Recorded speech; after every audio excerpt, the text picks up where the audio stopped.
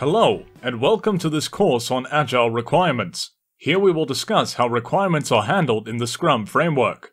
This course starts with discussions on Agile software development and the Scrum framework. Then it moves to a detailed discussion on requirements. This slide shows the topics that we cover as part of this course. We will start with a discussion on Agile software development, then move on to a discussion on the Scrum framework. After that, we will start our discussion on the requirements. We will see how requirements are handled in Scrum. We will start with the basics. Then there will be a detailed discussion on different methods for maintaining the product backlog. We will discuss different prescribed events and activities in Scrum that process these requirements. In the last module, we will summarize our discussion using a simple image of the Scrum framework. Just a quick moment, please. We hope you're finding this course valuable. If you are, please consider sharing it with others who might benefit and subscribing to our channel. We're bringing all of our top-rated paid online courses directly to you for free, right here on YouTube. If there's anything we can improve, feel free to let us know in the comments. Your feedback helps us get better. Now, let's get back to the course. Welcome back. In this module, we will have an introduction to Agile software development. In the traditional waterfall approach, the software development is done in a sequence of phases. First, there will be a detailed requirement phase. In this phase, the complete set of requirements are captured then we will move to a design phase. We will complete the high-level design, low-level design, etc. Then we will start with the development, followed by testing and then user acceptance and release. This looks fine as a solid framework, but here we are dealing with human beings, not machines. Mistakes can creep in. For example, requirements may keep changing as the development progresses, development may take too long, or at the end, to keep schedule, we may have to skip some tests, knowingly or by mistake. It is a long time period, from the requirements to the delivery. We don't realize any value until the end of the project, and when we realize it, the customer's needs may not remain the same. This approach leaves the testing until the end. Mistakes are detected late, and it will be costlier to fix. We don't seek approval from the stakeholders until late, there's no frequent interaction with the customer, and when we show them the product, it might not be the right product for them. The planning is done and fixed early in the project, and we are managing the project to the plan. There's a heavy dependency on the plan. This traditional approach is heavily reliant upon a project manager driving the way. Now let's start with Agile software development. If we go for a simple definition, it says Agile software development is a group of software development methods based on iterative and incremental development, where requirements and solutions evolve through collaboration and delivery. A time-boxed iterative approach and encourages rapid and flexible responses to change. It is a conceptual framework that promotes foreseen interactions throughout the development cycle. There are a few keywords highlighted here. We will discuss them one by one in the coming slides. Agile methods are based on an iterative and incremental development approach, where requirements and solutions evolve through collaboration between self-organizing and cross-functional teams. It promotes adaptive planning, evolutionary development and delivery, a time-boxed iterative approach, and encourages rapid and flexible responses to change. Agile is an umbrella term for different methods such as XP, Scrum, and DSDM, Agile is much more than a new process. It is a culturally different way of building products compared to the traditional methods. Now let's discuss two concepts, incremental and iterative development. In the iterative model, the entire development is split into a number of parts. Instead of having a long single phase, the development happens in different smaller iterations. Iteration development is a way of breaking down the software development of a large application into smaller chunks. In iterative development, the software is designed, developed, and tested in repeated cycles. As the name suggests, in the incremental model, the development happens in an incremental way. Instead of delivering all at once, we start with an initial one and keep adding increments to it. The increment build model is a method of software development where the product is designed, implemented, and tested incrementally. That is, a little more is added each time until the product is finished. The next topic is self-organizing and cross-functional teams. Self-organizing teams plan and manage their work on their own. They are not directed by someone outside the team. Self-organizing teams choose how best to accomplish their work rather than being directed by others outside the team. Teams are structured and empowered by the organization to organize and manage their own work. A cross-functional team has the right mix of capabilities. They all have the required skills to successfully complete their work. A cross-functional team is a group of people with different functional expertise working toward a common goal. In other words, the team will have all the capabilities to accomplish the task assigned to them. Now, let's discuss a few points on planning. In traditional software development, planning is predictive. The plan is defined at the beginning of a project and then managing the project to the plan. In adaptive planning, we define an overall plan at the start, but it is not frozen. Once work starts, the plan may change to adapt to the new learnings and changes around us. Plans for an agile team will be adapted based on the delivery and changes in the requirement for each iteration. Benefits of agile include, not limited to, accelerate time to market. Agile delivers the right scope at the right time, not all at once. The most important features are delivered earlier than later. It increases project transparency and visibility by having multiple iterations of the end-to-end development cycle rather than one iteration. Agile methods welcome changing requirements. It addresses evolving requirements and reprioritizes as needed. Reduce risk and overall cost with short delivery cycles and testing early and often to identify potential issues early in the project. Business and developers work together throughout the project. It improves collaboration and alignment with business organizations. In the traditional approach, the plan is a one-time activity, but in Agile, planning is done at different levels. We will have initial upfront planning at the start and just-in-time planning in iterations. In the traditional approach, the project manager plans for the team, but in Agile, team is empowered and participates in planning. In the traditional approach, detailed requirements are captured and frozen up front, but in Agile, we have high-level requirements to start with, and requirements evolve as the project progresses. In the traditional approach, we have huge requirements documentation, a lot of text at different levels, but in Agile, requirements are captured in the form of user stories or user cases in a simple way. In the traditional approach, limited client collaboration after requirements definition, but in Agile, we collaborate with the client throughout the project lifecycle. Now let's see some of the key drivers for adopting Agile. A recent survey lists down many benefits as listed here. You can visit the website given below for more details.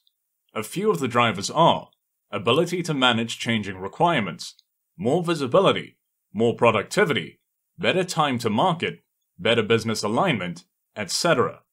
JIT Planning JIT stands for Just in Time. In this approach, we have a high-level plan for a long duration, detailed plan for a short duration. Detailed plans are created at the time they are needed, not months in advance. Decisions are made at the last responsible moment. This reduces rework and replan. With this, we have reached the end of this module. Just a quick moment, please. We hope you're finding this course valuable. If you are, please consider sharing it with others who might benefit and subscribing to our channel. We're bringing all of our top rated paid online courses directly to you for free right here on YouTube. If there's anything we can improve, feel free to let us know in the comments. Your feedback helps us get better. Now, let's get back to the course. Welcome back. Here, we will have a quick visit to the Scrum framework. If you have a good knowledge of Scrum, you can skip this section and move on to the next section. Let's start with the Scrum framework. Every software project is intended to convert a number of requirements into working software, an increment, or a change. Scrum follows an iterative and incremental approach. The work is carried out in multiple iterations called sprints. Sprint is time-boxed to a maximum of one month. The purpose of Sprint is to create a potentially shippable increment of working software.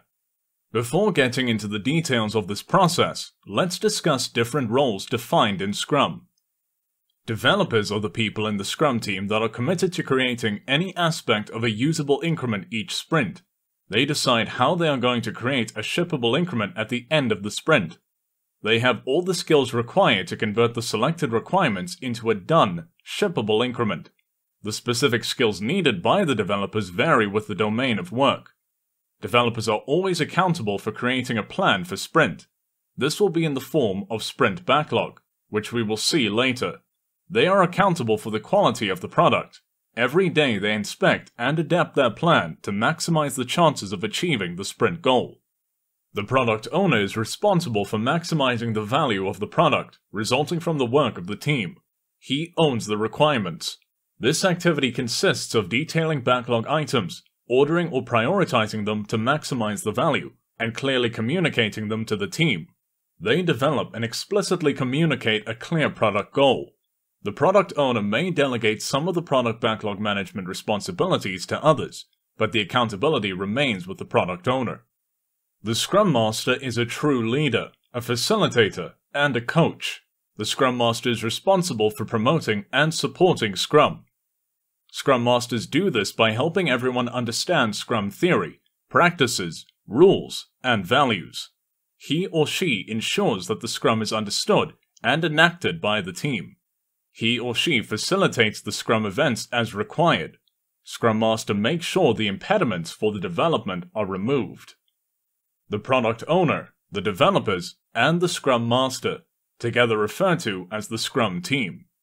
The Scrum Team is small enough to remain nimble and large enough to complete significant work within a sprint, typically 10 or fewer people. The product backlog captures all the requirements needed to be included in the product. This is created and maintained by the product owner. The product backlog is an ordered list of everything that is known to be needed in the product. Sprints start with a sprint planning meeting. This is time-boxed to 8 hours for one-month sprints. For shorter sprints, it is usually shorter. The product owner explains the product backlog items and explains the expectations. The whole Scrum team then collaborates to define a sprint goal that communicates why the sprint is valuable to stakeholders. Through discussion with the product owner, the developers select items from the product backlog to include in the current sprint Developers select item for upcoming sprint based on their capacity. Team velocity, the size of work that they have successfully delivered in the last sprint, helps as a guideline while deciding their capacity for the next sprint. In other words, what is going to be included in the sprint is decided here. The team creates an initial plan for converting the selected items to a shippable increment. This may be in the form of technical tasks for each selected item, or maybe only for items to start with. This explains how the team is going to achieve the sprint goal. The sprint goal, selected backlog items with a plan for achieving it, make the sprint backlog. Developers own the sprint backlog and keep it updated throughout the sprint. They start working on the selected backlog items toward creating the increment to achieve the sprint goal. They do design, development, and testing all in the same sprint. They will do whatever is required to achieve the sprint goal. Every day, Developers do a daily Scrum meeting. This is a 15 minute duration. This takes the form of a stand up meeting where they collaborate and decide on actions to be done before the next daily Scrum. It is kind of quick daily planning. Normally, it takes a form where every member answers three questions. What have I done since the last daily Scrum for achieving the sprint goal? What am I going to do till the next daily Scrum? Do I see any threats for the sprint goal? At the end of the sprint, the Scrum team and other stakeholders, as invited by the product owner, conduct a sprint review. This is time boxed to 4 hours for one month sprints. For shorter sprints, it is usually shorter. During the sprint review, the Scrum team and stakeholders collaborate about what was done in the sprint. Based on that and any changes to the product backlog during the sprint, attendees collaborate on the next things that could be done. This is not just a status meeting. The presentation of the increment is intended to elicit feedback and foster collaboration. The sprint retrospective is an opportunity for the Scrum team to inspect itself and create a plan for improvements to be enacted during the next sprint. This is time boxed to 3 hours for one month sprints. For shorter sprints, it is usually shorter. There are different methods used for retrospectives. For example, the team may try to find out what went well, what didn't go well, what are areas of improvement. Both sprint review and sprint retrospective have an outcome that impacts the next sprint planning. A new sprint starts immediately after the previous sprint ends. There is no gap in between. Scrum teams conduct sprints one after the other, creating software increments in an iterative and incremental way. As mentioned before, the team create tested and shippable increment at the end of each sprint. It may get deployed as it is or waits for further increments. However, the team will keep on producing shippable increments. As we have already seen, there are three roles, three artifacts, and four ceremonies in Scrum.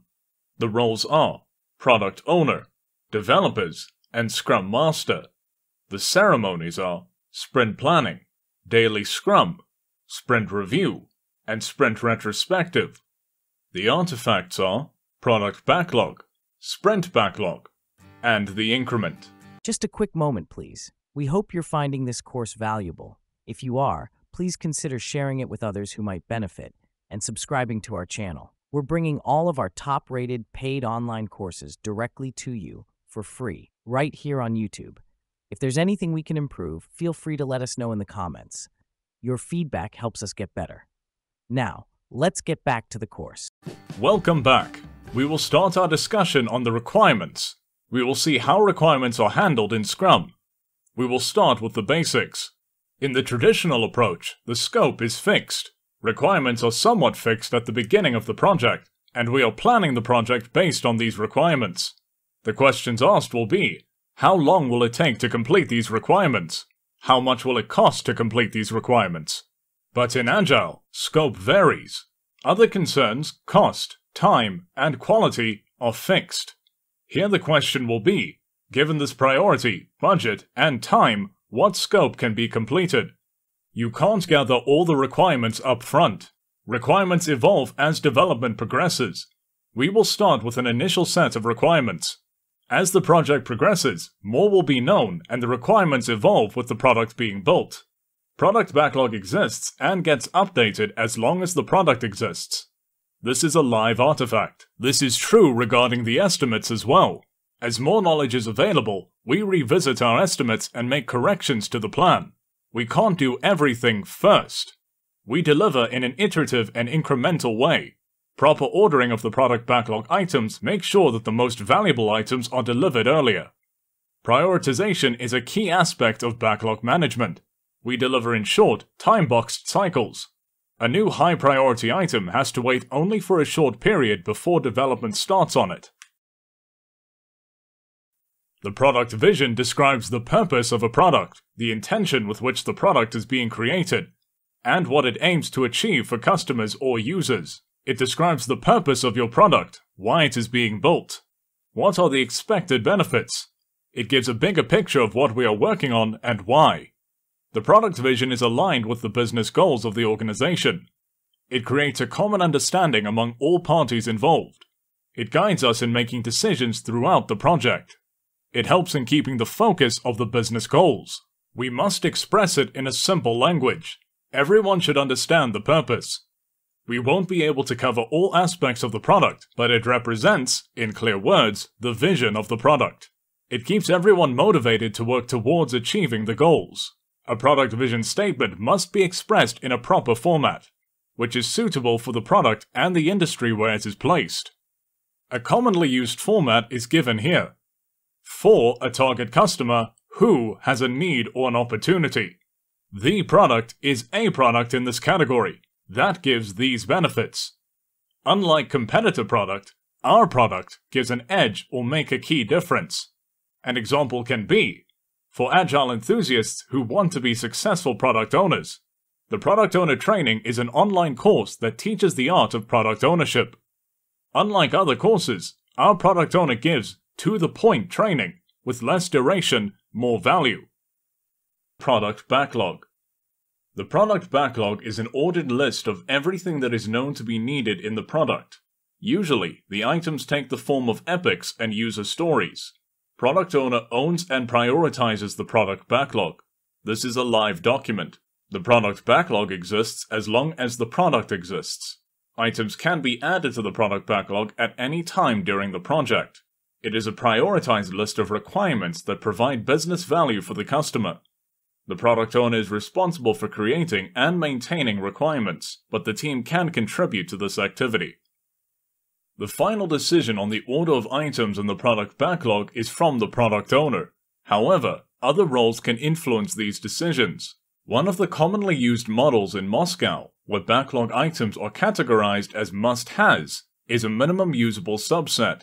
Should have, could have, or won't have, but would like in future. Other approaches for ordering include those based on business value, risk-based, Kano model, etc.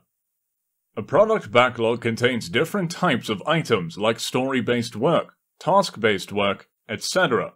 In short, everything that is required for the product. Higher ordered product backlog items are usually smaller, clearer, and more detailed than lower ordered ones. The product owner is responsible for maintaining the product backlog, but the estimates must come from the people who do the work. Deep talks about the characteristics of a healthy product backlog and stands for detailed appropriately, emergent, estimated, prioritized. We have discussed all these aspects.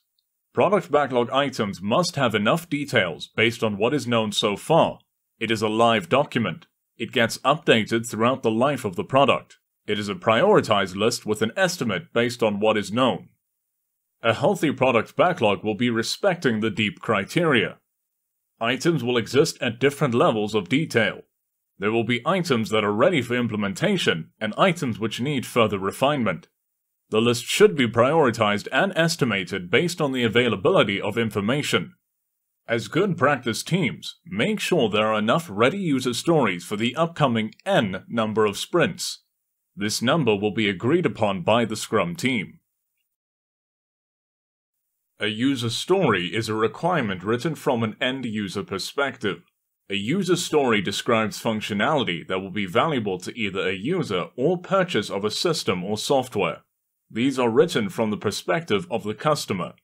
It reflects what customers expect from or want to do with the product. Items in the product backlog, usually written in the form of user stories. It usually takes the form As a user, I want to do something so that I get this benefit. For example, as a user, I want to see the list of all emails received so that I can select one for viewing. The three C's for a user story are card, conversation, confirmation. The card indicates that the user story should be small enough for a single card. The conversation talks about the detailing part. Detailing will be a result of further discussions and collaboration. More details will be attached or added to the user story as we go along. Confirmation indicates when we can confirm that the user story is successfully implemented. Usually, it may take the form of the acceptance criteria. Spike is a story or task aimed at answering a question or gathering information rather than producing a shippable product. The purpose is to gain knowledge necessary to reduce the risk of a technical approach, better understand a requirement, or increase the reliability of a story estimate. Large user stories are typically referred to as epics. Epics generally take more than one or two sprints to develop and test. They are usually broad in scope, short on details. It must be split into multiple, smaller stories before the team can work on them. In short, we can say it's a large user story. A theme is a group of user stories that share a common attribute. They are grouped together for convenience. For example, we can have a theme, communication. All stories related to customer communication can be grouped and tracked under this. Themes are often used to organize stories into releases or to organize them so that various subteams can work on them. A good user story should follow INVEST. It stands for independent, negotiable, valuable, estimable, sized appropriately, and testable. Independent implies the user story should be self-contained in a way that there is no inherent dependency on another user story. It should be negotiable. Stories are not contracts. Leave room for discussions. More details will be added, or changes as more knowledge is available. A user story should be valuable to users and customers, not developers. It should be written to reflect user or client perspectives. A user story must have enough details to estimate at required levels. Predictions are based on these estimates, so we should be able to estimate them. A user story must be small enough to complete in one sprint. Large stories should be split into smaller ones. A user story must be testable. The confirmation attribute that we have discussed earlier must be stated clearly. The user story should be small enough to be implemented within one sprint, but it is up to the Scrum team to decide to what extent the story should be fine-grained, based on the nature of work. Acceptance Criteria Acceptance criteria is a set of pre-established conditions that the product increment should satisfy to be accepted by the user. This will be provided by the product owner. Acceptance criteria are written in simple language. It defines the conditions of success or conditions of satisfaction. It provides clear story boundaries. Acceptance criteria remove ambiguity by forcing the team to think through how a feature or piece of functionality will work from the user's perspective. It provides a checklist or template of things to consider for each story and establishes the basis for acceptance testing. Consider a simple user story. As an admin, I want to create users so that I can grant access to the system. Acceptance criteria for this user story can include items like An admin can create user accounts, and no other role is able to create users. An admin can create a user with a username, email ID, mobile number. The system displays a message if any of the above fields are missing and the user is not created. System sends an email to the user once the account is created. The list can go on. DOR Definition of ready for a user story. How do we confirm that the user story is ready in all aspects and can be taken up for implementation? Definition of ready for a user story confirms that the user story is ready for implementation. This can include items like story defined and the business value is clearly articulated. The story has been assigned with the right amount of story points. It is estimated. The story is clearly understood by the development team. Acceptance criteria are clear and testable. Dependencies are identified and no external dependencies would block the story from being completed. Business test data required to test the story has been identified. Performance criteria, if any, are defined and measurable. The story is small enough to be comfortably completed in one sprint the definition of done for a user story. Now, when can we say we have done all the work required for a user story? The definition of done is a formal description of the state of the increment when it meets the quality measures required for the product. The moment a product backlog item meets the definition of done, an increment is born. The definition of done creates transparency by providing everyone a shared understanding of what work was completed as part of the increment. Definition of done for a user story is a set of pre-established conditions for confirming the same as done. It is not the same as acceptance criteria, but meeting the acceptance criteria can be an automated selection to the list. It considers many aspects like organizational processes, standards, legal requirements, etc. If the definition of done for an increment is part of the standards of the organization, all Scrum teams must follow it as a minimum. If it is not an organizational standard, the Scrum team must create a definition of done appropriately for the product. It will be inspected in regular intervals and improved, and it's not a frozen document. It can be defined for sprint and release as well, checklists confirming if the sprint or release is done in all aspects.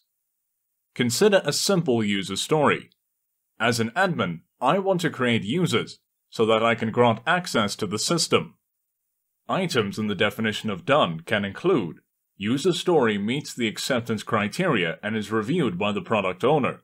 All code changes are reviewed as prescribed by the quality manual, and major findings are closed. Code changes are checked into the XYZ branch. The list can go on. The definition of done for a sprint. There are organizations that define the definition of done at the sprint and release level as well. At some places, it may take other names as well. Definition of done for a sprint confirms that all required tasks and other activities for the sprint are completed. It can include, but not limited to, definition of done of each single user story included in the sprint are met. All unit tests are passing and product backlog is updated. Product increment is deployed on the test environment identical to the production platform. The performance tests passed. All Category 1 bugs are fixed. Completed user stories are accepted by the product owner. These are a few examples. There can be more or fewer items, depends on the nature of the project. Definition of done for a release. Definition of done, DOD, for a release confirms that all required tasks and other activities for the release are completed. It can include, but not limited to, and code complete reached. Environments are ready for release. All test results are green. All acceptance criteria are met. QA is done and all issues resolved. Green baseline. No open issue in bold and integration. Release documents are ready. These are a few examples. There can be more or fewer items, depends on the nature of the project. Estimation techniques. There are different estimation techniques in use. Traditionally, we use techniques like lines of code, function points, use case points, etc. In Agile, we use techniques like story points, t-shirt sizing, ideal days, etc. Ideal days or ideal hours. Ideal days is an absolute estimation method. It estimates how long something would take if it's all you worked on and there are no interruptions for the work. You have everything you need to carry out the work. In Scrum, task level estimates are usually done in ideal hours. Relative estimation. Relative estimation consists of estimating something, not separately and not in absolute units of time, but by comparison with one another. It is also done by a grouping of items of equivalent size. In short, estimation is done in a relative way, in comparison with one another. T-shirt sizing and story points are two examples of relative estimation. Story point estimation. Story point is an arbitrary measure used by Scrum teams. This is used to measure the effort required to implement a story. It is a relative measure. It is done by comparison. It estimates how long it will take considering many factors like complexity, uncertainty, risk, etc. It is a faster way of estimating. The people who do the work, the development team, are responsible for making this estimate. A frequently used scale is Fibonacci series. Story points are a unit of measure for expressing the overall size of a user story, feature, or other pieces of work. The number of story points associated with a user story represents the overall size of the story. When estimating with story points, we assign a point value to each item in comparison with other items. The other characteristics are the estimation scale should be non-linear, the frequently used scale is Fibonacci series, etc. We use a set of numbers that makes sense. We may use a modified Fibonacci series as well, like 0, 1, 2, 3, 5, 8, 13, then 20, 40, etc. Larger stories, epics, can have ranges like 100, 200, etc. Story pointing is a relative estimation method. It requires a referral point to do the estimates. Experienced teams may have a clear understanding of what a story point meant for them. This is from their previous story pointing. When we do it for the first time, we need to create a base. A story of a reasonably small size will be selected and assigned one or two points. Other stories will be compared with this to find its size. Some companies advocate considering certain hours of effort as a story point. This is a controversial approach and against the sense of story pointing. Planning Poker Planning Poker is a method, tool, or activity for estimating using story points. Usually, it follows the below steps. First, the product owner provides a short overview of the story to be estimated. The team discusses to clarify assumptions and risks, and the outcome of the discussion is updated in the user story. Each individual is given a set of cards with the values that are used, usually the cards with Fibonacci numbers. Each individual selects a card representing their estimate and lays it down. Everyone shows their cards simultaneously by turning them over. If there is a difference, people with high estimates and low estimates are given a chance to clarify their estimate, and then the process repeats. Participants with an estimate at extreme ends will explain the logic behind the estimation. Product owner clarifies if there are any points or wrong understanding. Once the story and expected work are clear, the team estimate again. This process can repeat but can't go on indefinitely. If a team fails to get an estimate even after multiple rounds, that indicates there is no single shared understanding of the story or the work related to it. The story should be parked for further grooming. T-shirt sizing. T-shirt sizing is a way of relative sizing. By comparing stories, you can put them in buckets of extra small, small, medium, large, and extra large. Estimating in relative buckets is easier than estimating absolute time or effort. Estimation is not a one-time activity. At early stages in Epic or feature, estimates will be at high level. Once requirements reach the level of user stories, we will do a relative estimation with story points. While doing the sprint planning, we will create tasks for each story which will be estimated using ideal days or ideal hours. Just a quick moment, please. We hope you're finding this course valuable. If you are, please consider sharing it with others who might benefit and subscribing to our channel. We're bringing all of our top-rated paid online courses directly to you for free right here on YouTube. If there's anything we can improve, feel free to let us know in the comments. Your feedback helps us get better. Now, let's get back to the course. Welcome back. Here we will start with a few approaches for gathering requirements. A few points to note are, requirements evolve as development progresses. We will start with high-level requirements and improve and expand them throughout the lifetime. This process should be participatory. Remember the three C's that we have discussed as part of user stories. The conversation is the key element in detailing the requirements. Throughout this process, we focus on the business and product goals. Some of the methods used for gathering requirements are briefly discussed here. This is not a comprehensive list. The selection of methods depends on the product owner and the environment in which he or she operates. User interviews. This is a traditional and common approach for gathering information. Define the right set of questions and interview the stakeholders on a one-to-one -one basis. The selection of the right interviewee is important, we must identify the persons with the right knowledge of the product. He or she should be able to clearly describe the expectations. Identify different user roles interacting with the system. Prepare sets of questions for each role. We must define the right set of questions. The question should facilitate the thought process of the interviewee. Go for an open-ended, context-free questions in the beginning to get a wide perspective of the system. Based on the answers, Go deep into various areas. Prototyping.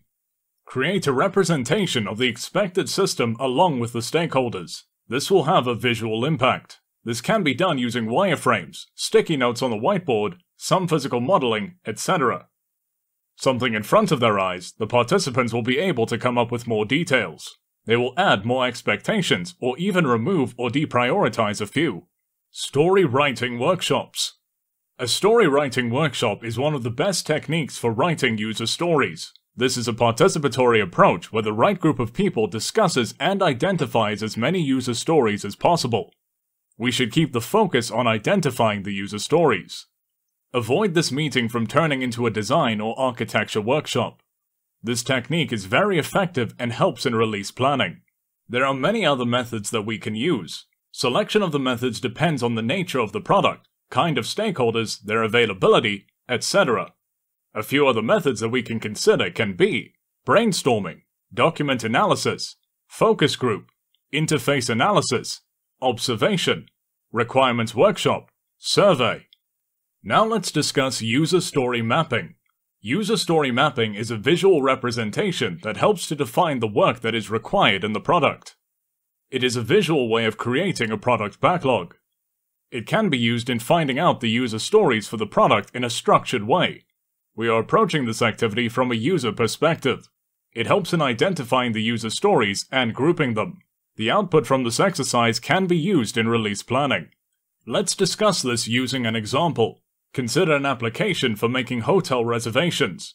One of the goals of the product will be a user should be able to book a hotel room online. If we further look into this, there are many activities involved in this process. Searching for hotels is one of them. There are many tasks that the user may perform as part of this activity, like search on date and location, sort based on price, filter on user ratings. If we convert them to the user stories, there can be many stories, like As a user, I want to search based on date and location so that I can see the availability. As a user, I want to sort the list on price so that I can select a room. As a user, I want to filter the list on rating so that I can select a room. Like this, we can analyze and map different features of the product. This brings in a shared understanding among all parties involved. This helps in breaking down important features of the application. As we have all main stories on the board, doing a relative estimation becomes easier. It helps in prioritization and release planning. There are different approaches used to break down epics or user stories. A few of them are listed below. Workflow steps, business rule variations, major effect, simple and complex, split using CRUD, create, read, update, delete operations, variations in data, data entry methods, spike first, split at basic or exception path, defer performance, in the coming slides, we will see examples of these approaches. Always remember the slicing the cake approach that we have discussed earlier. We should not split user stories based on architectural layers. It should be done based on functionality. Each slice should have a part of all the layers. Workflow steps. When a user story involves a workflow of some kind, the item can usually be broken down into individual steps. Consider the user story. As a customer, I want to shop online so that I receive my products at home. There are different steps involved in this process. We can split the story based on them. Two among the resulting stories can be As a customer, I want to log into the online store so that I can shop. As a customer, I want to view my shopping cart so that I can do a checkout. Business Rule Variations When a user story contains a process step with different business rules, we can split it based on those rules. Consider the user story. As a customer, I want to pay online so that I receive my products at home. There are many concerns in this process. Two among the resulting stories can be As a customer, I want to pay using a credit card so that I can shop online. As a shop owner, I want to view the payment status so that I can process the order. Major effort. If the user story involves a major functionality and its variations, we will break out the variations and implement the major effort first. Consider the user story. As a customer, I want to pay online with Visa, Amex, or MasterCard so that I receive my products at home. The major effort here will be using the payment infrastructure. Once it is in place, other cards can be added with less effort.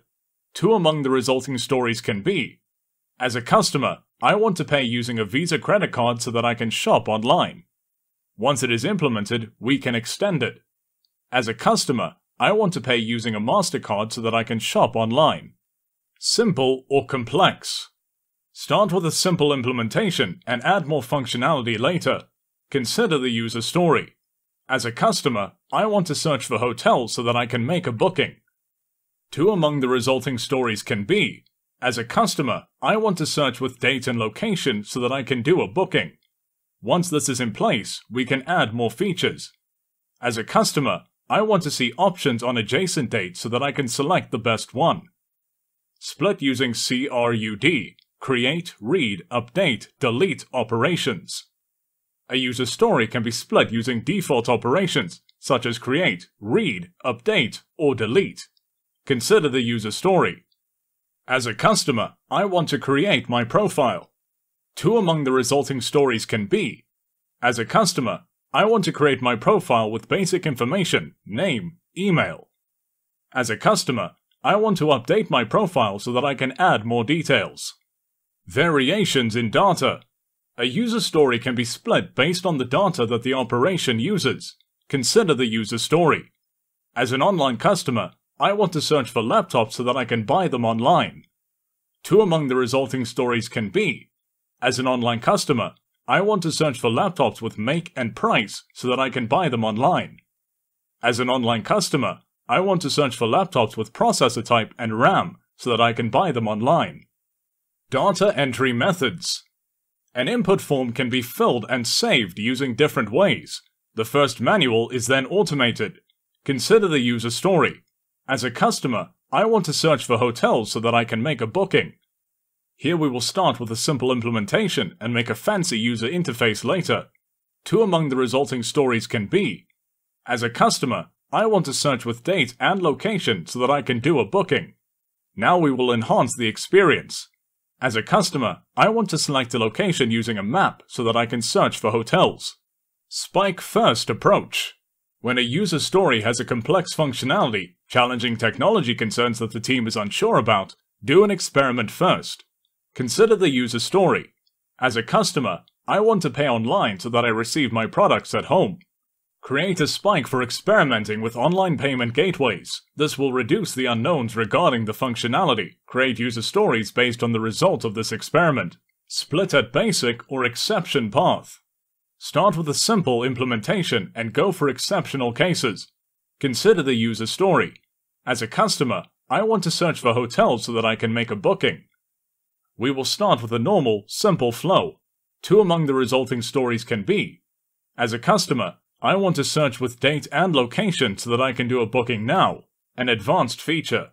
As a customer, I want the system to identify my location if I leave it blank so that I can search for hotels in my location. Defer performance. Make it work, then make it fast. Make the functionality work before going for optimization. Consider the user story. As a customer, I want to search for hotels so that I can make a booking. Two among the resulting stories can be as a customer, I want to search with date and location so that I can do a booking. As a customer, I want to see the search result within 2 seconds so that I can book faster. There are many other methods used for breaking down user stories, including based on test scenarios or test cases, based on roles, based on acceptance criteria, based on external dependencies, etc. Now we will discuss different methods used for prioritizing backlog items. Always remember the final decision on the order is from the product owner. However, other roles can influence these decisions. Product backlog items are ordered to provide maximum benefits to the business by delivering higher value items earlier than later. Factors that influence these decisions are business value, market demand, team capacity, risk, dependencies, etc. There are different methods that exist for the prioritization of product backlog. MoSCoW analysis. In this method, a list of requirements or user stories is categorized into the following four groups. Must have describes a requirement that must be satisfied in the final solution for the solution to be considered a success. Should have represents a high priority item that should be included in the solution if it is possible. This is often an important requirement, but one which can be satisfied in other ways if absolutely necessary. Could have describes a requirement that is considered desirable but not necessary. This will be included if time and resources permit. I won't have represents a requirement that stakeholders have agreed will not be implemented in a given release, but may be considered in the future. Poker method. Another way to prioritize the requirements is poker method. This is similar to planning poker. It is a quick and easy method to group items as per their relative priorities. Categories used here can be a very high priority, high priority, medium priority, low priority, very low priority. The steps are similar to that of planning poker. All participants are given cards representing these values.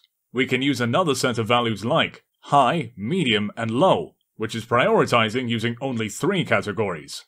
First, the moderator presents the backlog items to be prioritized. He clarifies the requirement, and each participant selects their card all participants show their selection at the same time. If there are any differences, that will be discussed and the process continues. Bid a feature. This is a kind of cumulative bidding method. All participants are given the same amount of money, say $100. The aim is to distribute this money among the backlog items under consideration. Moderator introduces all the backlog items to be prioritized. After that, each participant distributes the amount among these items based on his or her take on the priorities. Once this is done, the backlog items are prioritized based on the total amount each item received. There are many other methods used for prioritizing the backlog items. These include methods like Kano model, stack ranking, weighted shortest job first, WSJF, buy a feature, etc. Whatever be the model used, the final decision on the order is from the product owner. Now let's discuss a few points regarding planning. Planning is done at different levels in Scrum. It all starts with the product vision. We will have a high-level plan at the release level. Every sprint starts with a sprint planning meeting. Every day, developers collaborate and plan their activities for the next 24 hours during daily Scrum. A few more points to note here are, planning is not a one-time activity. We inspect and adapt the plan as more knowledge is available. Agile plans are adaptive, not predictive. We adapt the plans to the changes. Plans will change as more knowledge is available.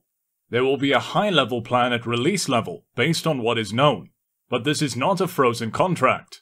This gives an overall view, how the product will evolve across iterations. It is a high-level plan for multiple sprints.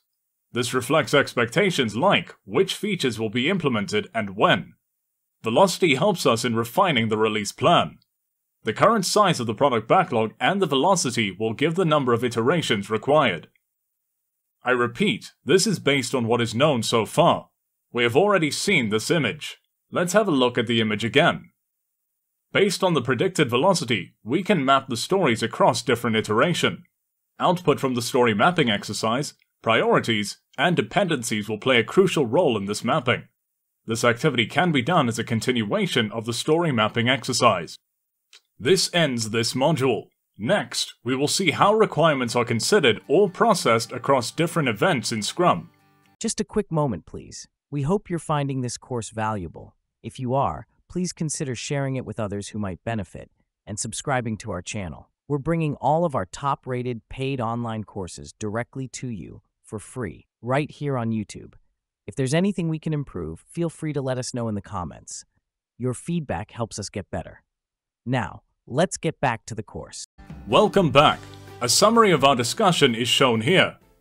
Product Backlog captures all the requirements required for the product. They are detailed, groomed, ordered, and maintained in the product backlog. During the sprint planning, a subset of requirements is selected for the sprint. The selected items and a plan for implementing them are available in the sprint backlog. During the sprint, the developers convert the selected backlog items to tested, shippable product increment. During this process, they clarify the requirements and may renegotiate them with the product owner. Developers conduct a daily scrum. During the daily scrum, the progress toward creating the increment is inspected. The product increment is reviewed during sprint review. Discussions may result in changes to the product backlog. Sprint Retrospective inspects the process as well as the definition of done, ready, and so on, and finds out the areas of improvement. This ends our discussion on this topic. Thanks for taking this journey with us. Welcome back. We will discuss different prescribed events and activities in Scrum that process these requirements. Product Backlog Refinement is the act of adding detail, estimates, and orders to the items in the product backlog. It is an ongoing activity. The product owner owns this meeting, and the Scrum Master helps him in organizing it. No time blocks is specified for this activity, but it should not block sprint activities. This activity can be used for to write user stories, that is, expand, add more details, etc. Break down user stories that are too big, improve user stories that are poorly written, estimate backlog items, Add acceptance criteria if not already done. Look deeper into the backlog to do longer range technical planning. A typical product backlog grooming or backlog refinement activity can have two parts. In the first part, we will concentrate on requirement clarification and adding more details to the product backlog. In the second part, developers will do the estimation for the user stories. During the sprint, the selected requirements, that is, backlog items will be converted to a working product increment. Throughout this process, the product owner will be available to answer the questions and clarifying the requirements. Developers may renegotiate the requirements with the product owner to enhance the possibility of achieving the sprint goal. We can consider the sprint itself the longest event in Scrum. Sprint contains and consists of sprint planning, daily scrums, the development work, the sprint review, and the sprint retrospective. Sprint is time boxed to one month or less. During the sprint, team converts the requirements to a done, usable, and potentially releasable product increment. There is no gap between sprints. A new sprint starts immediately after the conclusion of the previous sprint. Sprint goal is finalized during sprint planning. During the sprint, no changes are allowed that would endanger the sprint goal. The scope may be clarified and renegotiated between the product owner and developers as more is learned. A sprint can be cancelled before the sprint time box is over. It is a decision from the product owner. Only the product owner has the authority to cancel the sprint. A sprint will be cancelled if the sprint goal becomes obsolete. This will be a rare case as the sprint duration is shorter. Sprint planning is a formal entry point for the requirements to the actual development. Based on the priorities, the teams select the requirements that will be converted to a shippable increment during the sprint. Let's see how sprint planning is done. The work to be performed in the sprint is planned at the sprint planning. The plan is created by the collaborative work of the entire Scrum team. The Scrum Master ensures that the event takes place and that the attendants understand its purpose. Sprint planning is time boxed to a maximum of 8 hours for a one month sprint. For shorter sprints, the event is usually shorter. Sprint planning is the first activity of the sprint. The Scrum team may also invite other people to attend sprint planning to provide advice. The inputs to sprint planning are the product backlog, where we have the ordered, estimated list of requirements the latest product increment. We should know what we have done so far. The projected capacity of the development team during the sprint assesses the availability of the team. We will consider leaving plans, holidays, etc. Past performance of the development team, the current speed, performance, or in other words, the velocity of the team. Sprint planning answers the following questions. Why is this sprint valuable? What can be delivered in the increment resulting from the upcoming sprint? How will the work need to deliver the increment be achieved? In simple words, sprint planning decides why we sprint, what can be delivered, and how it can be delivered, the why, what, and how aspects of the sprint. In the first part of sprint planning, the product owner proposes how the product could increase its value and utility in the current sprint. The whole Scrum team then collaborates to define a sprint goal that communicates why the sprint is valuable to stakeholders. The sprint goal must be finalized prior to the end of sprint planning. The sprint goal is the single objective for the sprint. The sprint goal is an objective for the sprint that can be met through the implementation of selected product backlog items. It provides guidance to the development team on why it is building the increment. By the end of the sprint planning, the development team should have an idea of how it intends to work as a self-organizing team to accomplish the sprint goal and create the anticipated increment. In the second part of sprint planning, the Scrum team decides what can be done this sprint. The usual process includes the product owner explains the objective that the sprint should achieve and discusses the product backlog items that, if completed in the sprint, would achieve this objective. Through discussion with the product owner, the developers select items from the product backlog to include in the current sprint. The Scrum team may refine these items during this process, which increases understanding and confidence. The team decides how will the chosen work get done. Developers decide how it will build this functionality into a done product increment during the sprint. The developers usually start by designing the work needed to convert the product backlog into a working product increment. How this is done is at the sole discretion of the developers. Work planned for the first days of the sprint by the development team is decomposed by the end of this meeting, often to units of one day or less. The product owner can help this process by clarifying the selected product backlog items and make trade-offs. If required, development team renegotiates the selected product backlog items with the product owner. Sprint backlog. The sprint goal, plus the product backlog items selected for this sprint, plus the plan for delivering them is called the sprint backlog. Developers are responsible for creating and maintaining the sprint backlog. The plan usually takes the form of engineering tasks and other work items for meeting the definition of done for the selected teams. These tasks are usually estimated in hours or days. Teams start with known tasks at the time of sprint planning. As development progresses, tasks may get added, and sprint backlog can grow in size. It is a live document, developers keep updating it throughout the sprint duration. As a good practice team, make sure that sprint backlog is updated before or during daily scrum. At any point in time, the total estimated effort for unfinished tasks in the sprint backlog gives the amount of identified work that remains in the sprint. As sprint progresses, new tasks may get added, resulting in a temporary increase in remaining effort. During the daily scrum, the developers inspect the progress of converting the selected requirements into tested shippable increments and make necessary adjustments. Let's see how this happens. The Daily Scrum is a 15 minute time boxed event for the developers to inspect progress toward the sprint goal and adapt the sprint backlog as necessary, adjusting the upcoming planned work. Daily Scrum is conducted by developers, and Scrum Master makes sure this event happens effectively.